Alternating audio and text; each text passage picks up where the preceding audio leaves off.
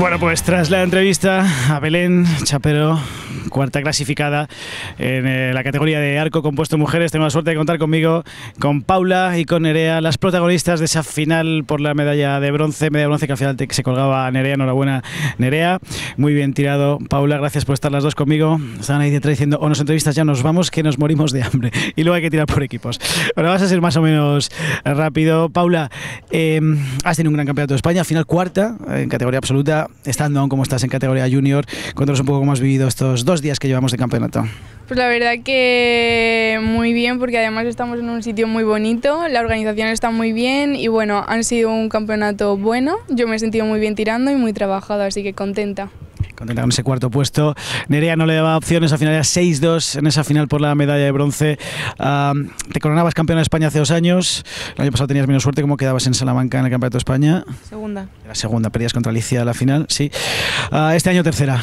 Vamos a decir que no se te dan nada mal estos campeonatos de España, llegas justo en el momento alto de la temporada.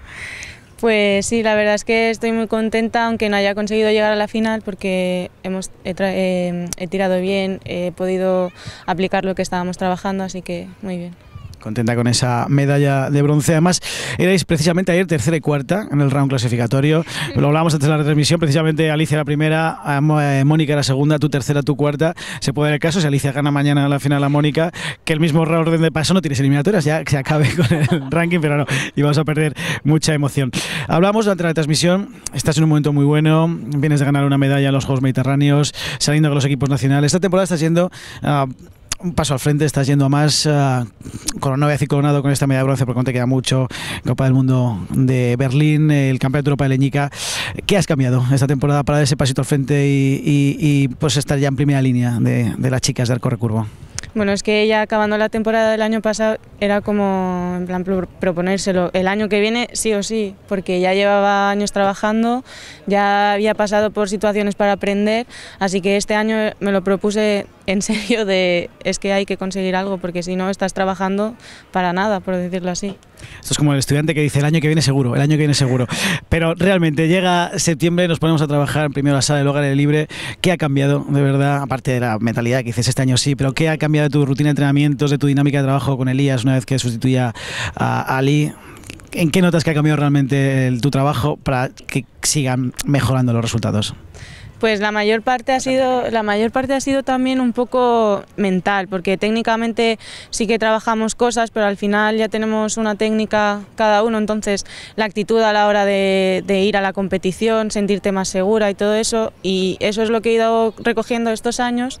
Y al final este pues lo he sabido controlar bien, ¿no? los nervios y todo eso, y me he podido clasificar y así estoy disfrutando, entiendo muchísimo de este pasito adelante que estás consiguiendo dar y que creo que nos va a dar muchas alegrías, tanto individual como por equipos. Ah, por equipos, hablábamos antes de la plata que se colgaba Nerea en los Juegos Mediterráneos. Uh, tú vienes precisamente de Patras, hablabas de que es un gustazo tirar con el mar, pero es que viene de, viene tirar en Patras. No sé si le ha cogido gusto esto de la brisa marina, pero luego hablaremos de esa final contra Italia. Pero ¿qué tal? ¿Qué tal la experiencia con el equipo junior y cadete en, en Grecia? Hemos tenido un equipo muy numeroso, éramos todos muy, muy buenos, nos llevamos muy bien, la verdad que ha sido muy, muy bonito y muy divertido. Es que cuando llegábamos al momento de las finales que se os veía todos en la grada animando, haciendo ruido, ah, ante todo una piña, ¿no? Que es lo importante en una salida así. Claro, o sea, las cosas así importantes, al final de lo que te llevas las competiciones son tus compañeros y al final vamos todos a una, somos el equipo español, representamos a España y lo que queremos todos es ganar, sean uno o dos, pero todos estamos juntos. Al final no teníais suerte con las ucranianas. A Mónica se la ha contado a las ucranianas, a que no nos oye, en, Patras, porque caía individualmente con ella. Mixtos caía con Ucrania. Caía en semifinales también contra Ucrania por equipos femeninos. Pero llegaba la hora de jugarse el bronce contra Italia y nada más, nada más que un 6-2 a favor de vosotras. ¿Cómo vivisteis esa final, María, Mónica y tú? Pues teníamos muchas ganas porque hemos entrenado muy duro, eh, lo llevamos trabajando mucho tiempo. Es verdad que el equipo no, no, habíamos tirado mucho, pero teníamos muchas ganas, lo teníamos muy claro y lo afrontábamos con un montón de confianza. Pues con un bronce en Patras, con este cuarto puesto eh, en el que este Campeonato de España de Santander. ¿Qué objetivos en lo que resta temporada y sobre todo qué te proponemos hacer ese, ese uh, esfuerzo de decir vamos a darle paso adelante? ¿Qué te propones de aquí en adelante después de estos objetivos conseguidos que seguro te dan fuerzas para proyectarte hacia arriba? ¿Qué te propones realmente a partir de ahora? Bueno, pues nada, disfrutar en verdad, porque yo creo que es de la manera que más consigues objetivos y que más tienes resultados, porque si en verdad disfrutas de lo que haces y te gusta, te esfuerzas, das el 100% sin que te cueste nada. Entonces, para los campeonatos que me quedan de aquí adelante, disfrutar, seguir trabajando como hasta ahora, entrenando un montón y seguir seguir disfrutando. Dos arqueras de la Blume. Uh, ¿De quién os queréis acordar? Sobre todo tú, uh, Nerea, ahora que has conseguido esta medalla de bronce. Te vi a tope con la gente de Valencia, tirando además en octavos de final con María, que en breve la veremos tirando también en el Musafes ese campeonato. ¿Dónde estarás tú echando una mano o te pilla en Berlín? Sí, me pilla en Berlín. Te pilla en Berlín. Una voluntaria menos, leche. Pero bueno, ¿de quién te quieres acordar al colgarte esta medalla de bronce? Pues la verdad es que me acuerdo pues de mi equipo de entrenamiento, que tanto como Paula como Alicia, todos los de la Blume, y de mi federación, que siempre viajamos juntos y al final pues formamos un equipo también.